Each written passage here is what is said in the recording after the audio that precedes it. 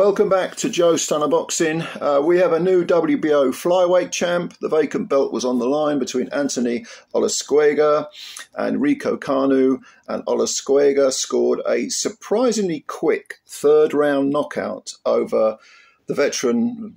That's what they call him these days if you've had over 20 fights. Uh, Riku Kano. Kano is only 26. He's not a veteran. I mean, that was a silly thing to say, really. But um, he's a southpaw fighter, 26 from Japan, um, 22 wins with 11 KOs, four defeats and two draws. But he hadn't been stopped, um, he hadn't lost since 2018. So we're talking, you know, six years ago, and he went on this, you know, winning streak, very, very uh, impressive winning streak. Um, I think he beat one of the Inoues. I can't remember which one over 12 rounds. There was a draw in there, um, split draw against a guy who didn't look like he had much of a record, someone I wasn't particularly familiar with.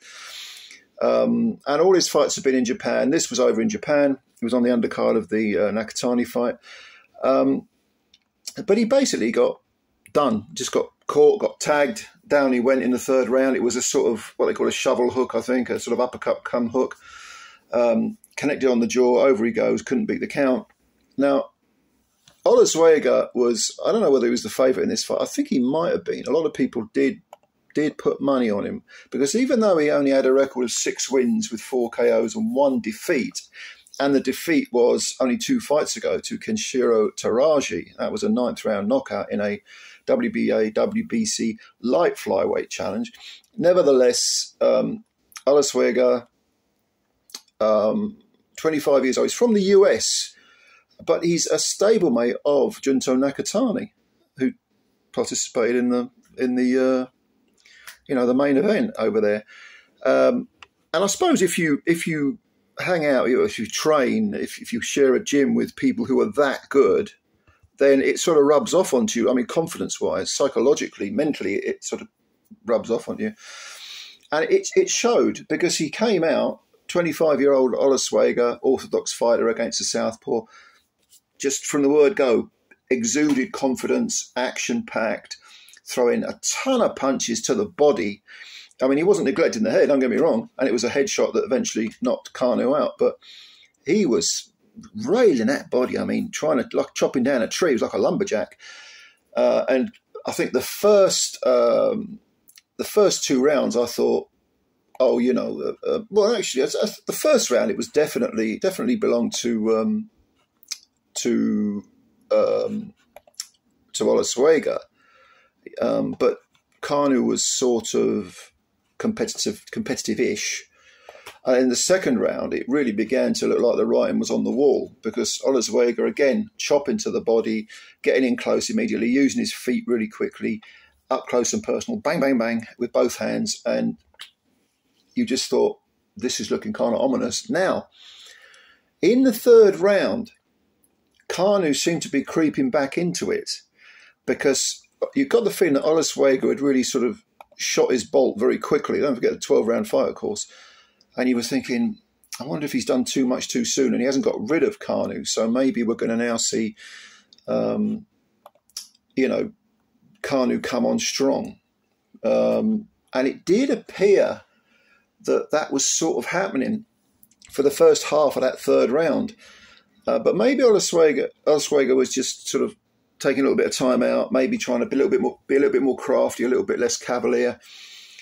Um, and he was again, he was going to the but the body was it was so obvious that the body punches were hurting Kano. Uh, at the very least, they were stopping him from moving in. They were he was trying to take a few steps back, trying to keep it covered up, trying to sort of shell up a little bit. Um, knew he couldn't do that too obviously and f- for too long because he was just allowing Olascuaga to come in through the front door.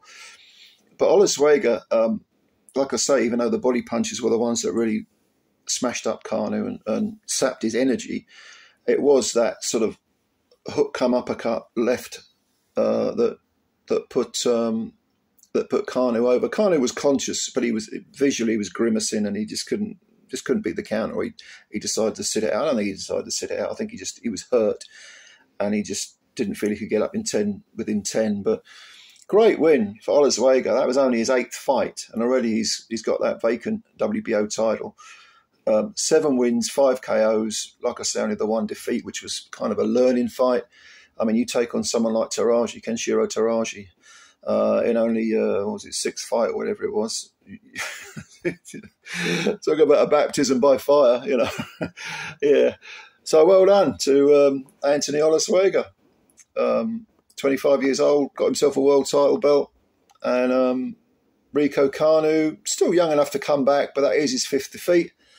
Um, he'll probably have to, it's snakes and ladders, you know, you go all the way back to the beginning. He's going to have to start again, I think.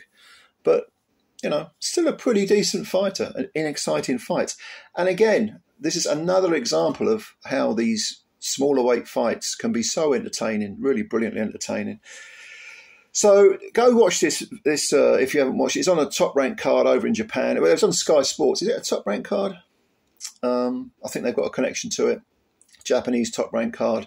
It was on Sky Sports or Sky Boxing. So you go and have a look. Tell me what you think, and um, comments below as always. And please subscribe to the channel if you're new. Help the channel out by subscribing. That'd be great.